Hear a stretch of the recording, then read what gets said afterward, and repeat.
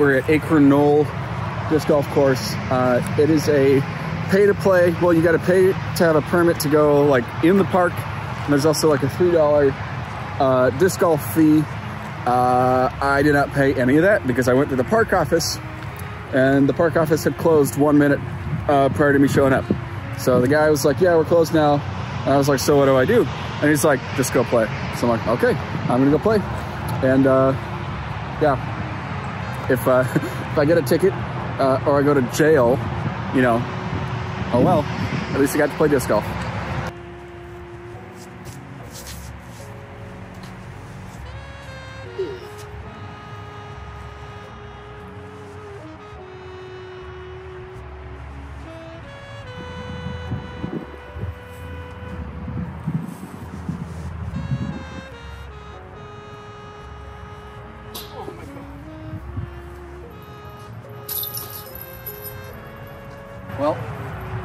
If you're new here, welcome to the channel. We do that a lot.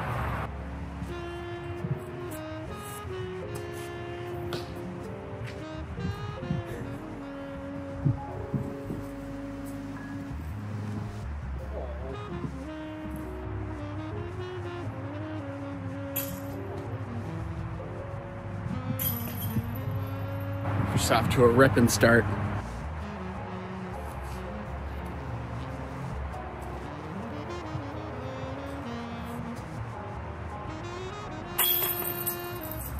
Let's get it moving back in the right direction.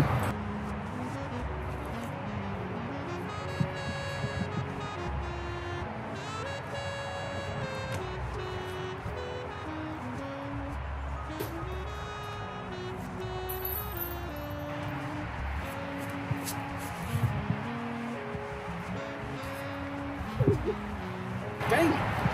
Can't get clean.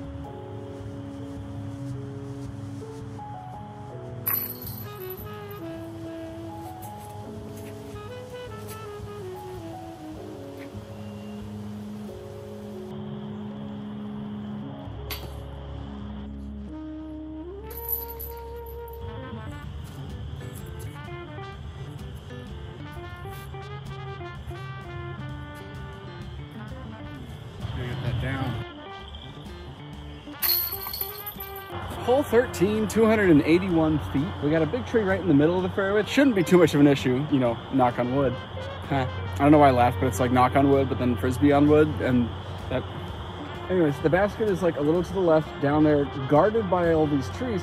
It looks like there's a gap in the fairway, like right behind this tree, but I think I'm just gonna try to throw straight at the pin and hope that something good happens.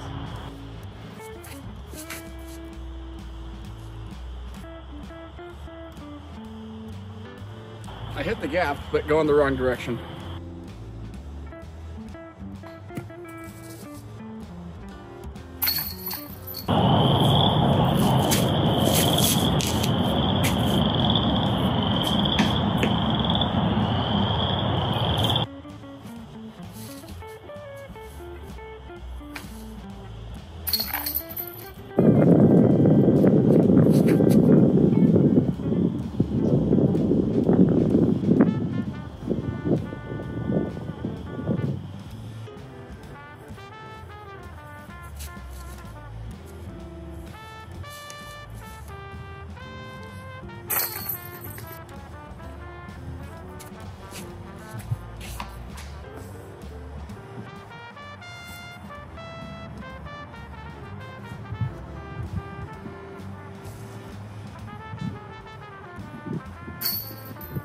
17, 200 feet. This is very wooded. Basket's that way, and so are the trees. So, wish me luck.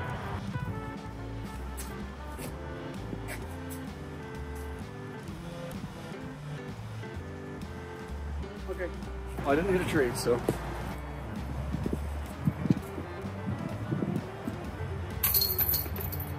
Okay, well, walking to the next tee pad. Hopefully, I'm going the right direction. But there's a sign that says holes 18 through 22 are closed. Proceed to the next tee pad. So we just finished 17, and so we're going to what I presume to be 23 because 18 and 22 are, or 18 through 22 are closed. I don't know why. I see some there's some tee pads right here that look like they've been freshly dug up. You can see the soft dirt underneath, obviously discolored. So maybe repurposing land, maybe redesigning the course. I don't know what it is, but just something to be on the lookout for. On UDisc, it is listed as a 24 hole course. So there were 24. I don't know if there will be any more.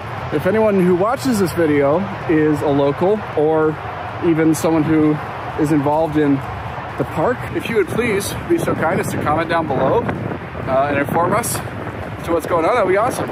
I'll share some thoughts while I walk here. And theoretically, I'm not looking at UDisc right now because I'm filming, so hopefully I'm going the right direction. I like the course. I am not blown away by anything. I think it's a well, decently well-designed woods course with some clearly uh, defined fairways, which is good. And so that being said, for a course that you have to pay for, and I know I didn't pay today and not not without trying. If you're just skipping to this part of the video, I uh, I tried, but they said the office was closed and that I should just go ahead and play. Anyways, yeah, I don't know. Um, it just doesn't. It's really short, and yes, I I am. Whoops, I am playing the short pads, so I understand that it's like okay, well, don't complain that it's short if you're playing the short ones. The long ones, the long ones are a little bit longer, but they don't offer that much different. I, they do a little bit. Some of them are angled a little differently, so you might have to approach different lines, and I like that. But a lot of them are kind of stacked on top of each other. So obviously I like that there's variety and there's options. If there's only one tee pad, then that's worse than not, you know, having another one. It's not, I guess, not really a negative thing, but just know that if you play the shorts, they are really short. And if you play the longs, I would consider that to be more normal, except for maybe hole 14 or 15 whatever the long, the long open shot is, that long tee pad is actually long. But either way, it is a woods course, technical. You got some shot shaping to do, and it looks like it's probably still under construction. So I don't know, you know, maybe they can improve on a few things here and there. It is just really wet and muddy, and that's not anyone's fault. Uh, so that's not really a judgment, but some parts of the course do appear to drain uh, much better than others. So that could be improved upon, but again, not really anyone's fault. Uh, the land is the land and rain will rain. So let's go ahead and finish this out with uh, two more holes to play.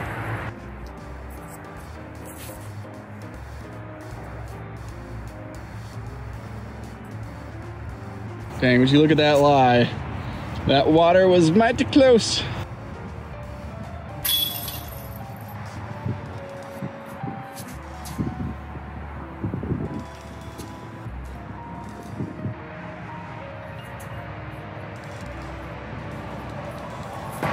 just to clarify the throw you saw me throw is that one that's in the water. My first throw was with the pink putter. I just forgot to record it, so believe me if you want. Okay, I'm gonna keep this brief because uh, the final hole is right by the road. It's kind of noisy with the road noise. It's crazy how that works. So this has been Acorn Knoll at uh, Willow Metro Park, I think, in Lake Huron Township. I, I, talked a little bit as I was walking from 17's basket to 23's tee pad because holes 18 through 22 are closed. But either way, this is a nice wooded track. I don't know how long it's been here. I don't know if it's going to continue to change and develop. I think it's it's pretty well taken care of. I mean, the fairways are are mowed. It is winter, so it's not really, you know, like nothing's blooming to be taken care of, but so far it, it seems like it's clean. Um, some fairways were muddy, but that's water. Uh, I had some criticism of like the long and short tee pad.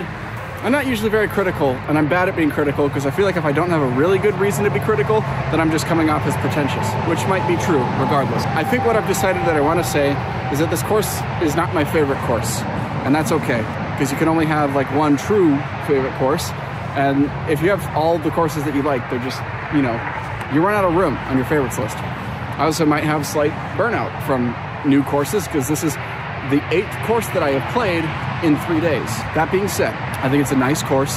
It's a fun play. If you're nearby, I advise you check it out. I don't think I would make it my home course if I lived close by. I'd probably opt for um, some of the other courses in the area. That being said, nice to have a wooded course, technical course, course that forces you to shape some shots and uh, maybe divert from what you might try on like a more open hole. So all that being said, I appreciate you guys watching. I'll see you guys in the next one. All right, well, I just chatted with a couple guys uh, who are locals here, and they were just talking about how this course used to be a little bit better. They said that the course, the holes that got ripped out, 18 through 22, it's because the land there was owned by the highway department and the rest of the course is owned by the Metro Park department. So they said it's due for a redesign at some point. They're gonna try to, you know, not just have those holes missing, but actually kind of redesign the course and change the starting hole, all that good stuff. I'm excited to see what the course looks like then, because my, my opinion of this course is what it is right now and I look forward to seeing what they do with it in the future and improving it. I think it has potential to be a lot better than it is right now. What, what the, the, other thing they also said was that right now is a great time to play the course because the fairways aren't that muddy compared to how bad they can be, and then the bugs are really, really bad, I guess with all the standing water. So either way, thought I'd add that to the video, and I'll see you guys in the next one.